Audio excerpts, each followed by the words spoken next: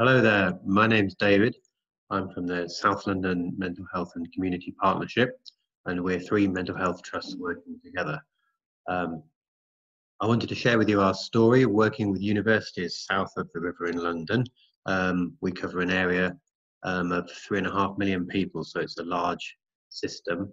And um, we came together with the idea of how can we take a new look and a new approach at trying to improve students' mental health and well-being.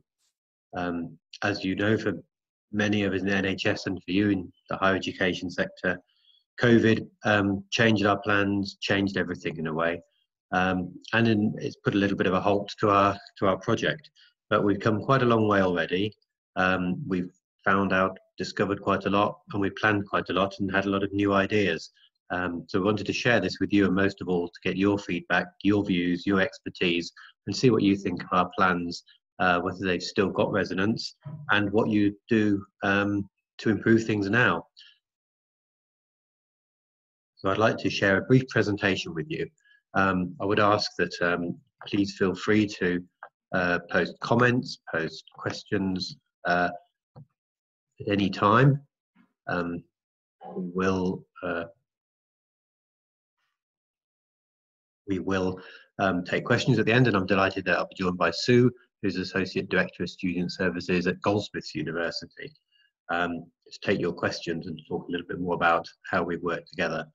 Um, so please do this. Um, do appreciate there are a couple of slides in here where the um, there are some diagrams um, showing the system. Um, they're not hugely uh, visible on a small screen, but we will share the full presentation with you and at any stage um, in the future, I'm very happy to talk through the detail of those. And of course, anything else with people one to one, if that's how you prefer. So let's start our, um, our journey. So why do we need to change? Um, you'll be well aware of the well rehearsed and well known issues around students' mental health. Um, the demand uh, on NHS services are increasing um, at all levels, um, and we know that the demand on student services, student welfare services, are increasing as well. Um, and this is um, some very serious uh, issues around uh, suicide attempts, self-harm, depression crises, A&E attendances, um, through to a demand for um, all levels of, of well-being and mental health support, um, from counselling to signposting, um, and things that don't uh, don't approach NHS trust services.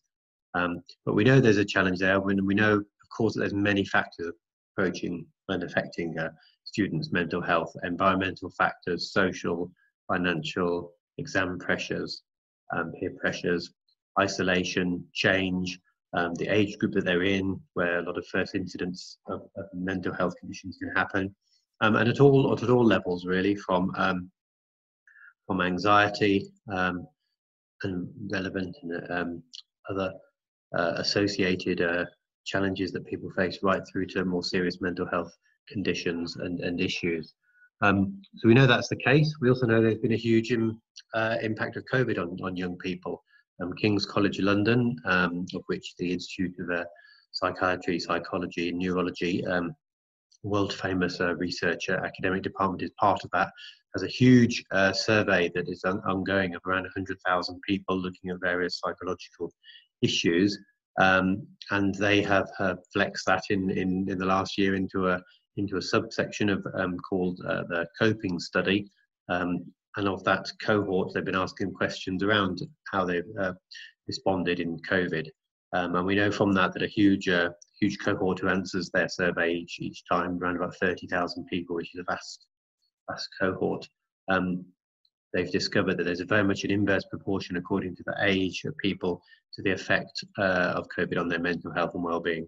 So much so that some 75% uh, of 19 to 35 year olds said their mental health and well-being um, has deteriorated, is worsened during COVID. Um, by, that's by far, the, um, the largest proportion is, is of young, young people. Um, so we know that's the case. Um, we'd love to know your experiences. Has it affected your students? Has it affected how you look after your students? Um, be really interesting to know. So please, please share that with us. We know there's a lot of research out there from all sorts of institutions, organisations, uh, sector bodies, um, and within within the university sector itself. Um, but what we wanted to do was consider what are the what are the solutions.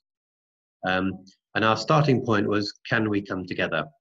So uh, we're three NHS trusts, Oxleas, um, which covers uh, the southeast of London, uh, South London and Maudsley, which covers sort of the south central area, um, and southwest London and St George's, which covers um, most of the southwest of London as far as Richmond on one side, across to Croydon, inner London, uh, Lambeth, Southwark, and across to Bexley um, and Greenwich on the, on the other side in the southeast. And that's in total, that's about 3.6 million people um, in total. So there's a lot of services, a lot of specialists, a lot of community inpatient support and, and specialist services as well.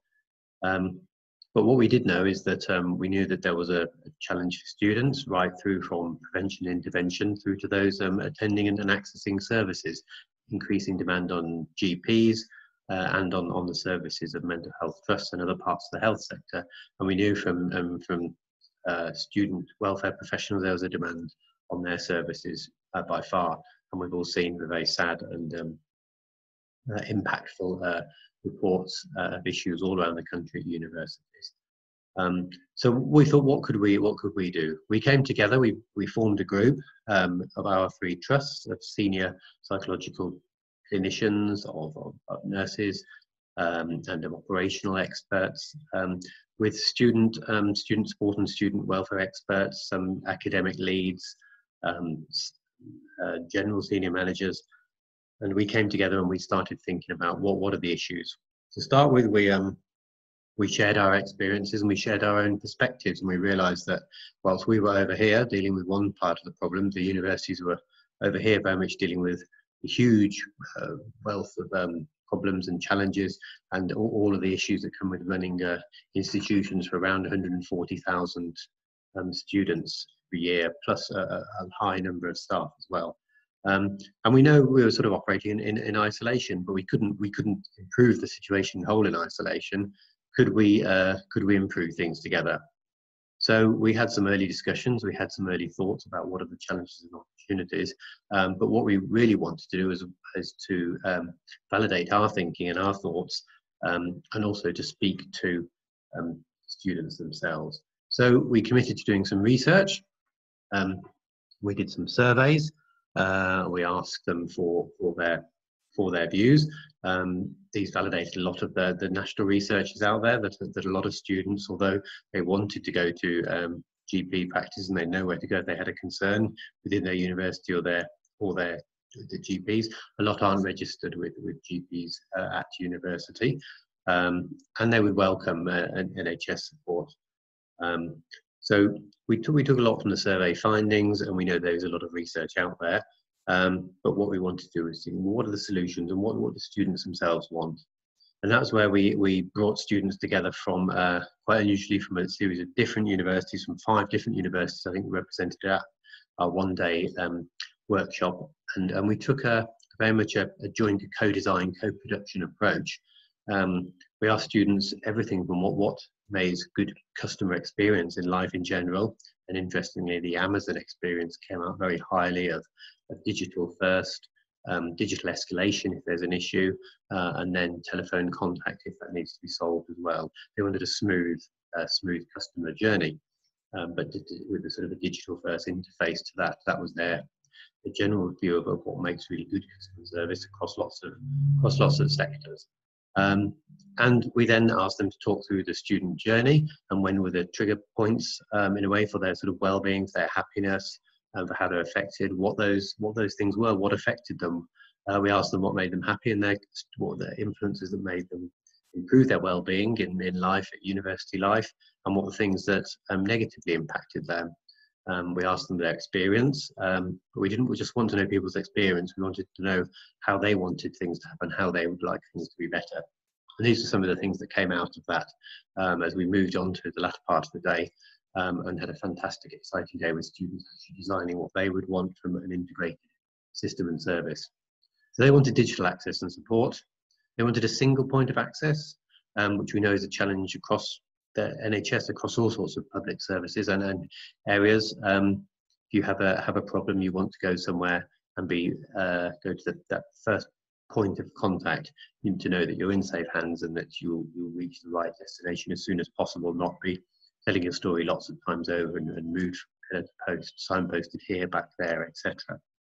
Um, so they wanted that ease of ease of access, which very much chimes with our, our aims in the NHS to give people the right care at the right time at the right place.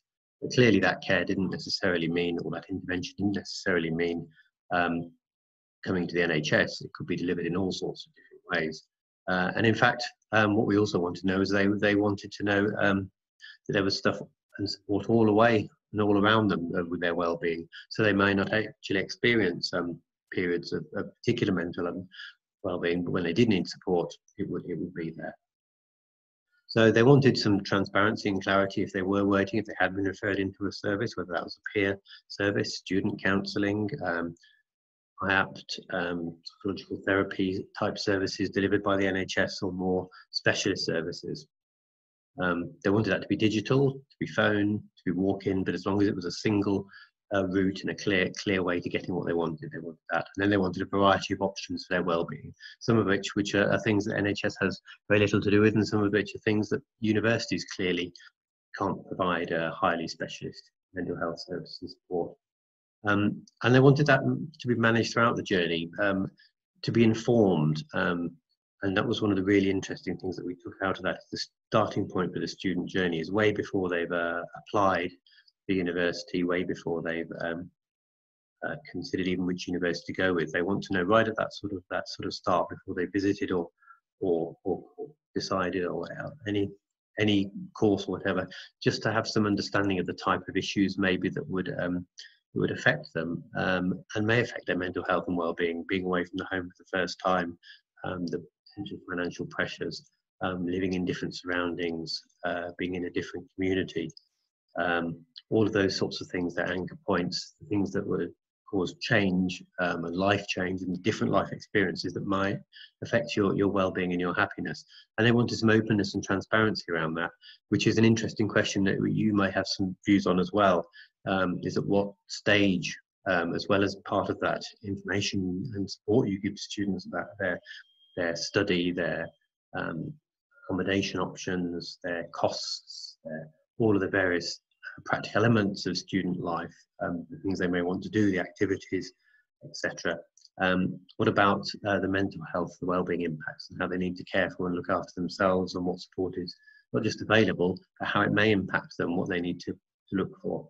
Um, so there was there was that feeling um, that we know there is a heightened uh, awareness of mental health issues and looking after yourself, and that you know um, a lot large portion of us at some stage of our life will will all have mental health and we may well have um, some form of issue concern at all sort of levels. But how do we um, how do we communicate that to students and help them prepared and they want that preparedness that openness which is interesting and it's an interesting one for student services as well? So i suppose we say do these resonate with you? What has uh, what has what has changed um, since covid? What extra pressures are on there? What's affecting students now? Um, as I say, we, we know a lot about this. Um, we know a lot about the problems, um, and we can admire the problems, but could we come up with the solutions? Can we, uh, by working together, improve things? And as Three Trust, that's where we've uh, we've discovered um, working in partnership and in collaboration uh, rather than in competition, as we sometimes used to do for, for, for contracts and services with, with commissioners. Working together at scale, we can do a lot more together. We can bring all our resources together we can do consistency of access, consistency of the quality of care and the best practice to people, um, and really make innovation and good practice spread and, and get those economies of scale. So we had our earliest thoughts, and what we came up with was can we have a, a, sort of a fully integrated approach that doesn't say this is an NHS problem, this is a university problem, this is a public health problem, this is a combined opportunity to work together to do things differently, a holistic, and an integrated approach. We set out some aims, which I, I won't read through, but they're fairly sort of clear. Um, and there were some very, very, very broad ones around it. Want to improve everybody's mental health and well-being, student and staff alike, and to make support uh, services accessible and, and, to help people continue their studies and, and enjoy them.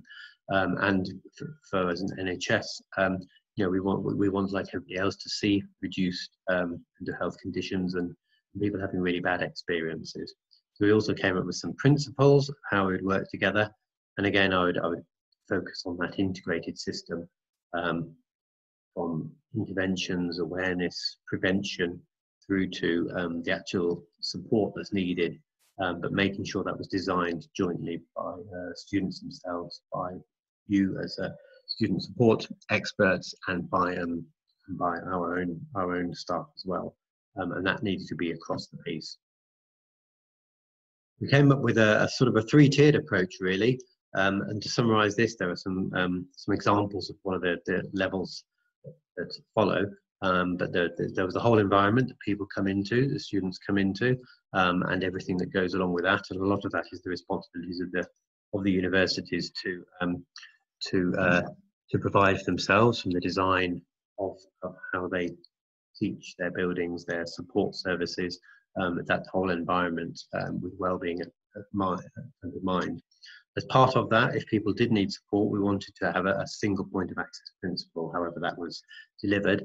And then when those interventions were required, what we called our level one services, they could include existing services provided by universities, maybe in partnership with us, maybe through GPs, maybe peer support, but making sure we have some good standard benchmarks of, of quality and consistency.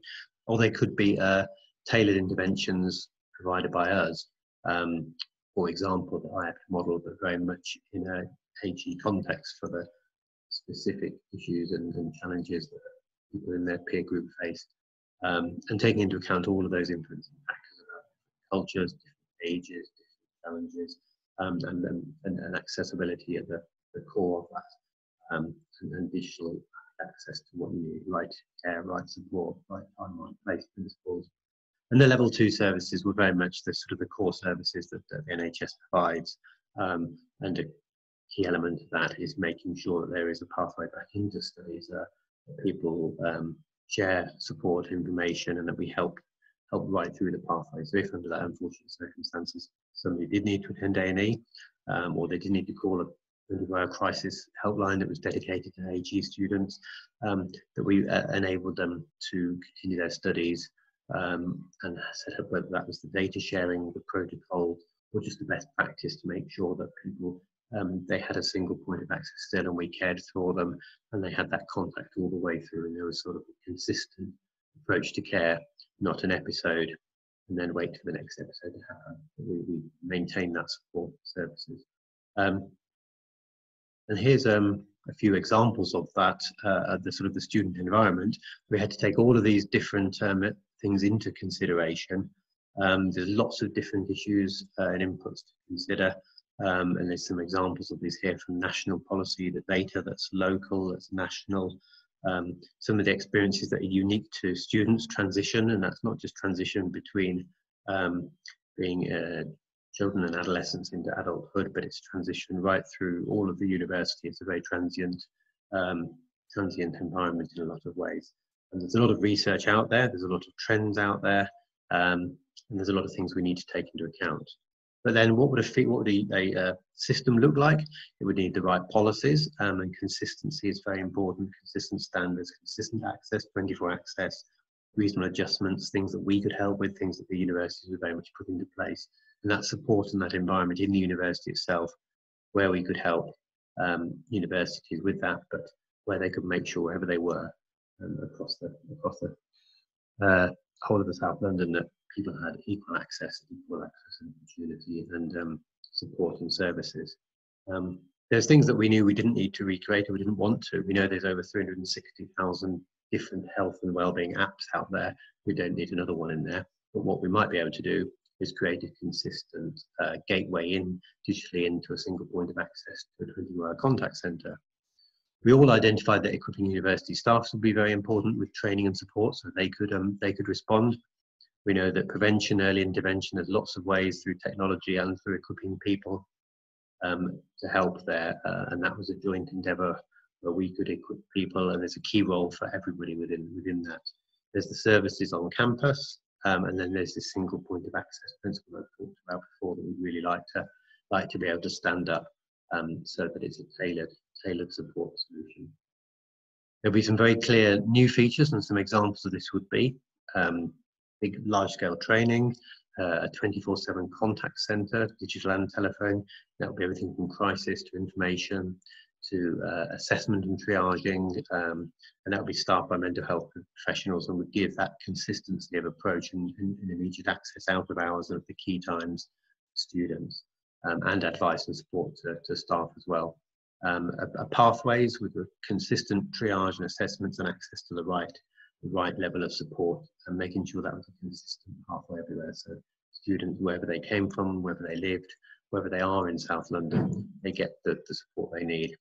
Uh, there may be some bespoke therapeutic interventions, perhaps uh, as I mentioned in versions of IAPT, and uh, training is absolutely is absolutely vital to people, staff to to feel confident in the difficult situations that they face as well. So all in all, it, it's a it's a new way of working. It's a new way of thinking about things, a system approach, um, moving out of our, our own spaces and coming together. So we worked together, we progressed to a business case um, and we developed that and um, we thought that was a, a really strong, uh, strong proposition. Um, and we started those discussions with um, universities and our own commissioners at senior levels, thinking how we build this in maybe into planning for the future and what it would look like um, from all elements. Very complex, uh, complicated um, proposition, but some real clear actions that we could do. Then COVID came along, um, and to be fair, we know the challenges that you've had and are continuing to have as universities, and you will be equally aware, I'm sure, of the challenges we have in the NHS, in mental health, in acute, in primary care, in, in all parts of it. Um, so we're a little bit on hold at the moment, but we're still very much live and thinking about this. And what we want to do is get views of experts and, and people out there who've got that experience that you've got as well. Is this still relevant? What more? What new? What's changed? What else could we could we need? Um, have your plans changed?